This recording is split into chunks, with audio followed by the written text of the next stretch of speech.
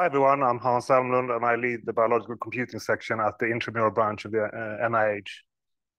Uh, I will not talk about nanoparticles today. This will be real-time cryo-EM and single particle analysis, and and it's an honor to be here. It's a great meeting, and uh, it's nice to speak right after Sjors, because as you will see, the method that I'm going to introduce to you today is somewhat of a tribute to RELION. And so we developed Simple, and that's our package for processing cryo-EM data. We also developed Single, which I will not talk about today, uh, that is for structure identification of nanocrystals by a graphene liquid cell. But all of it, this is available on GitHub, and it's not only open source, but it's open development. So every all the work that you see, we do continuous integration on, on a daily basis, so you can follow whatever we are doing in real time. Okay, so this is Simple Stream, basically an integrated pipeline for real-time cryo-EM structure determination. We have the microscope producing 500 to 800 movies per hour. That's our Falcon 2.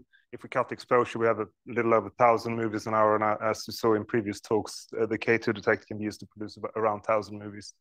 We then transfer the data off the scope as part of the streaming pipeline to an area where we can uh, do calculations and process the data. The motion correction that we do in Simple is very similar to uh, MotionCor2, with a with a twist in terms of how we regularize the shift trajectories so that you can split the the motion correction into a large number of patches without without ruining the solution.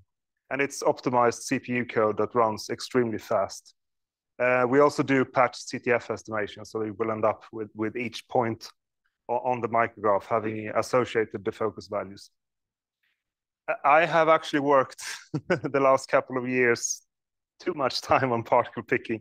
Uh, I will not talk about any of that today, but now, the code that we currently have available, and all of this is available to you guys as well, uh, you you just have to input the diameter range, and it does everything else for you, including validating the the Gaussian references that are used initially, and then automatically updating once class averages are available. And then um, importantly, of course, for streaming, is that we start to do single particle averaging, because that's the only way that we can validate that the data is of any useful quality in terms of averaging, right? I mean, optical quality, we can look at the Thon rings, but we have to start averaging if we are going to provide solid validation in real time. So why do we need real-time single particle analysis? We want to inform data acquisition and improve the image quality through near instantaneous feedback. We want to fail quickly on two challenging samples to prevent waste of microscope and computer time.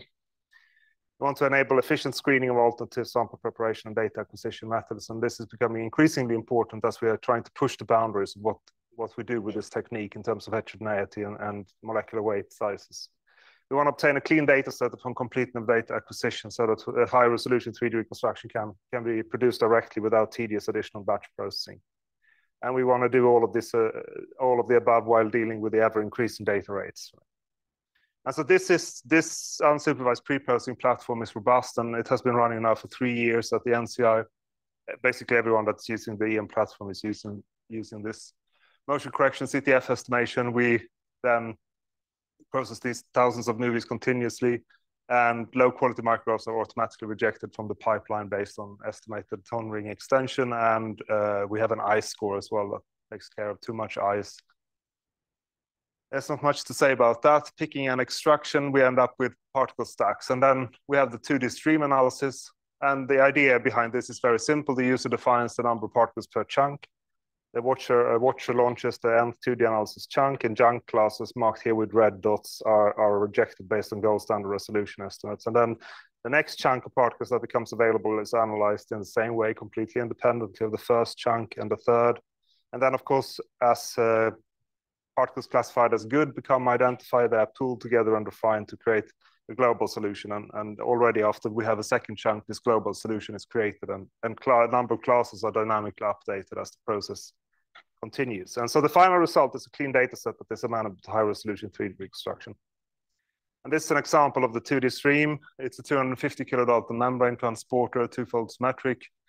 Here you see what has been rejected in the first subset and then the second subset, and this is the global solution, with a lot of classes resolved below 5 angstrom resolution, lots of classes at intermediate level resolution, and then some junk in the global solution as well. And so we want to take this into 3D, uh, and uh, so we had to put together a little wish list for an ab initio 3D reconstruction algorithm for streaming. It should be able to produce ab initio maps with helices resolved, so data quality can be directly assessed. It wanted, we want it to be scalable to deal with the increasing data rates, and it should be robust, meaning that we find the global optimum most of the time, and it should be free of tunable parameters and possible to generalize to heterogeneous samples. And so we have struggled a lot of, uh, put a lot of effort into trying to reconstruct this little molecule, the export gate, pseudo-symmetric little bastard. Um, it has no symmetry. It has a pseudo-fold arrangement of subunits with a sort of a helical twist. It's 300 kilodaltons, of which 100 kilodaltons is disordered detergent. And it's very easy to detect if the ab initio map is correct, and it's solvable in cryoSPARC. Unfortunately, Simple doesn't do a very good job with it. It fails desperately even though the class average look okay, it captures the swirls and top views and resolves secondary structure in the side views, the orientation distribution, of course, as you see, is slightly biased to towards top views and slightly tilted top views. But the, the 3D that we get from the class averages is useless. It's basically just the aspect ratio of the molecule, and any refinement attempts on this would simple at least fail.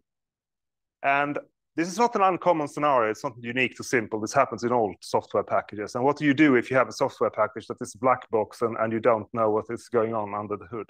Well, you're stuck, right? So this is basically the essence of my research program, which Sjors also touched upon, which is to provide high, high quality open source code for which we can solve real problems that appear in the field. And so the plan of action for resolving this issue was to give up on prior 2D classification and operate directly on the noisy individual particles, because obviously there is a huge advantage in terms of effective signal to noise ratio when you start averaging across the common lines of the data, not only in 2D, right? So give up on the 2D classification.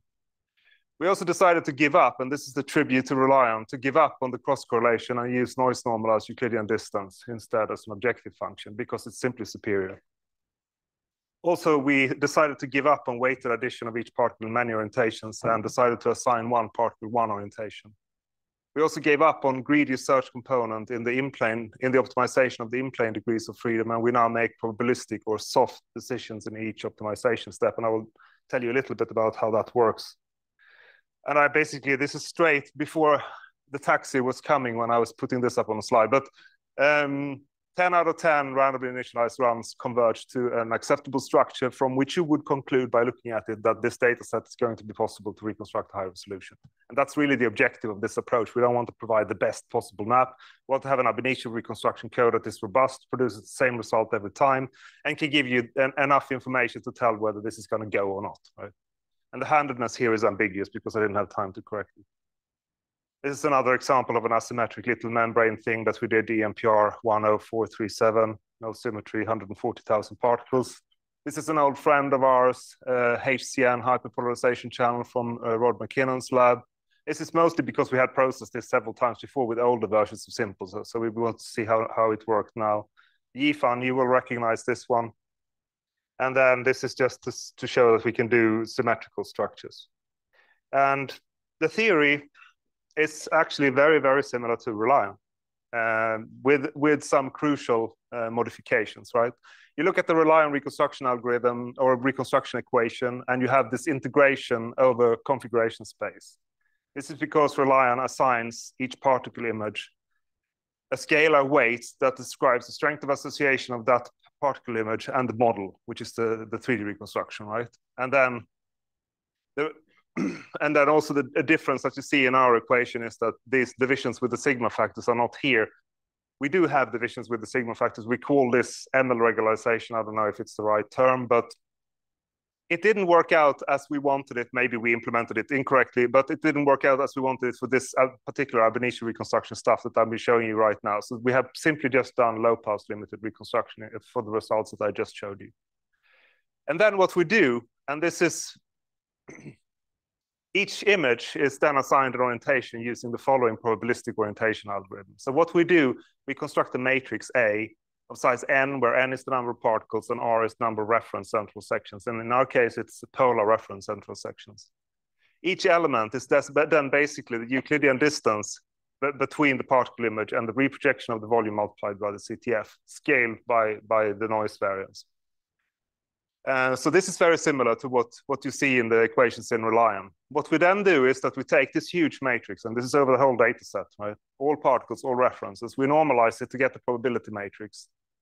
And then we start assigning orientation. So basically what we are doing is that we are using the Euclidean distances not to control averaging, but to control search. So we use the probabilistic model to decide what orientations to assign to the data. And that's the fundamental difference between RELION and, and the way that we have implemented this stuff in Simple. And so to put it a little bit further in, in context, basically if we take as an example, projection matching implemented in EMAN, Spider, SPARX, or Frealign. We take RELION and we take simple. The type of algorithm, uh, projection matching is an iterative greedy one. Uh, RELION is an iterative statistical estimation uh, algorithm. You know, if you look at uh, expectation maximization for Gaussian mixture models, you will you will feel like home whereas simple is an iterative probabilistic optimization uh, algorithm. So the, the weights are actually used to control the search decisions rather than to control the averaging. And so in projection matching, typically cross correlation is used, whereas we use as RELION and cryoSPARC noise normalized Euclidean distance. The type of optimization in projection matching is local search, and it's local because for each particle image, we make a decision independent of any other particle image. So we can, in principle, put each particle image uh, in a little box and do it independently of any other particle image. So there's no communication between particles. In, and correct me if I'm wrong, guys, uh, there is no optimization in RELION because it's a matter of associating the configuration space with weights and control the averaging. So there's technically no optimization, whereas the optimization in simple is probabilistic. The orientation assignment in, in projection matching is deterministic. Here we are trying to find for one particle image, find one orientation and it's typically greedy trying to find the best one and it doesn't matter really which optimization or if you use powell or if you use fancy stuff uh, it's still going to be local search right? And it's going to be deterministic and greedy. RELION is weighted and in a way probabilistic but not in the way simple is probabilistic because we are making probabilistic decisions to assign one particle one orientation. We are not using the probabilities to control the averaging. Search geometry and projection matching is polar for the in-plane rotations and then discrete on the S2. RELION uses Cartesian central sections, whereas we are using polar central sections just as in projection matching to provide accelerated search. Uh, we are discrete in the in-plane rotations, but we have expressed, you know, based on derivatives of the objective function, continuous, continuous optimization of the origin shift degrees of freedom. And so the optimization strategy in projection matching is to find the projection matching that best matches each image. Uh, whereas in RELION, the search, the discretized configuration space is associated with weights and the weighted average is produced in each iteration. Whereas in simple now here, we try to find the particles that are the likely representatives of the reference reprojection. So we can't really make any decisions until we have created this huge table of all million particles versus all references. And then we can start making decisions. We can't analyze the data in any arbitrary order. And it's possible to, to provide an embarrassingly parallel which means very effective parallel implementation of, of, of both these approaches, whereas we have to first parallelize the generation of the probability table because it's global and every other particle uh, influences the way that the decisions are made for every other particle. So we can't really do anything until we have the table. The regularization approach that typically used in projection matching is FSC based. And as you saw, RELION now has FSC based. It has this elegant ML regularization and now these neural network based priors and that we will, we will also be excited to test and see how they work. In simple, we have both FSC, we have the ML regularization, and we have implemented cryoSPARC's non-uniform filter. And so generalization of this, this method um, is pretty straightforward for heterogeneous data. And I should say, I'm getting old, but I've been working with these kinds of algorithms for 20 years now and actively developed uh, methods for dealing with uh, heterogeneity analysis of particle sorting for 15 years. And, and I was very impressed when uh, Grigorieff, uh, Nico, and, and uh, Lyumkis published this paper. And actually, I've spent spent the past 10 years trying to reproduce these results and, and failed. And that's not for lack of trying. But with this new um, probabilistic approach, we, we actually beat Frealign uh, because Frealign fails already at signal noise ratio of 0.05 to find these uh, specific ribosome conformations. Whereas this, this method that I just introduced to you, when you extend the table over both projection directions and states, finds it. And the way that you can do this, you can do this, you can input, you can decide to generalize to multi-states either in the ab reconstruction step. You can assume one state or and then you can start splitting the data or you could decide to just fix all the orientations. Yeah, i'm happy with the orientations and, and just extract the states. And this the next thing is um, i'm going to show you is very preliminary uh, cyril my postdoc he sent me yesterday he started to do some benchmarking against cryoSPARC and this is another annoying little membrane protein that susan Lea loves to work with um, we have struggled with this one too but and it's 135 kilodaltons, about 95 of it is, is ordered. This is the 100,000 particles uh, ab initio model from Simple. This is from cryoSPARC. This is a cryoSPARC model from half a million, and this is C3 symmetrization in Simple, followed by a non-uniform refinement of those 100,000 particles. And similar for this CLC7. This refinement didn't work out that well because just 100,000 particles. I think this one was from 1 point, uh, so, around a million of particles. So we need to do something something more about this to get where where they are getting. But I think it's pretty impressive to get from 100,000 particles that that level of detail for such a challenging membrane protein.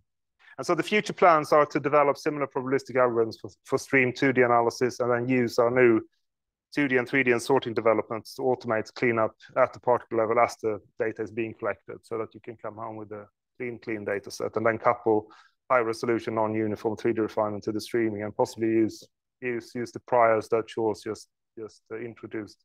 If we can find that little offline program to apply to the even odd pairs in our iterations, and then finally, I just wanted to mention because Joe Caesar is in the audience. Where are you, Joe? Here, he's over there. He developed NICE, which stands for a new interface for CryoEM, which is a web-based user interface optimized for remote graphical display. And its extended to use also RELION in the workflow and it's automated input output to cryoSPARC, so you can stop and start anywhere in the process. It's integrated with the streaming, and it, it's really nice. You can basically run it on your iPad or your iPhone, and and and it works.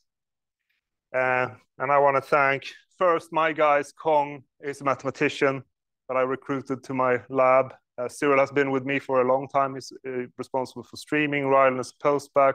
Ruben is responsible for the nanoparticle stuff, and George is, is our application tester, and then Susan and her group members for their assistance uh, with setting up my lab at the NCI, and of course, giving us access to every data set that is being collected at the NCI, which is really nice when you develop codes. Uh, and Joe, of course, that developed NICE and also lots of other hardcore low-level stuff related to moving files around and stuff like that. And thank you for your attention.